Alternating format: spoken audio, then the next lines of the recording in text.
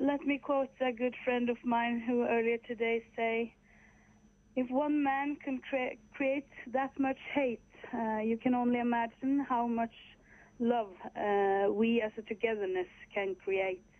Violence creates violence, hate creates hate. Uh, that will not be a good solution.